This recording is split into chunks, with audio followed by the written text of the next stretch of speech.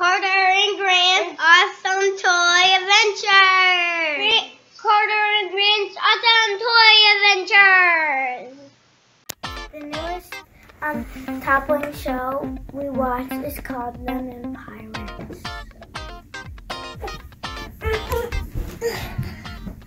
My favorite part was when they could get the treasure chest back from the ba bad pirates. What happened in the episode?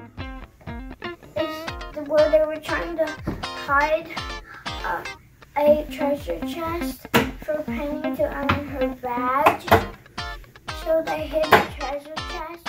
They were trying to, but then the, the crocodile mouse ate them, and then they got into prison and there.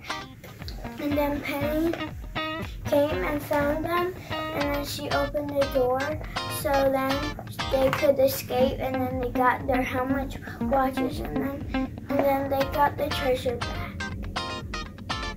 Did you like it, Grant? Yes. What was your favorite part? Um, when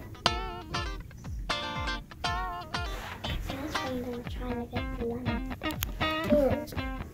Two. Thanks for watching.